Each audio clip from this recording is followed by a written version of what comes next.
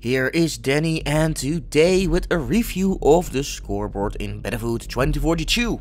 Uh, well, it shows you and the other players. There is no scroll option in 128 players, so you can't actually see everyone. I guess scroll tag does not exist yet. But at least in 64 players, all 64 players in Conquest, fit on it, so that is nice. There is generally no way to interact with the scoreboard, like a way to directly report people for example, or scroll like I said.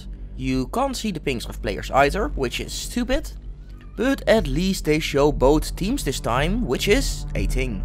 And they are still following the weird score system, 3 points for flag capture for example, so I guess they don't have the tag for normal points. The end of the round screen comes later. Other players say that it is too cluttered, but I have no issue with that. More info is always better to me.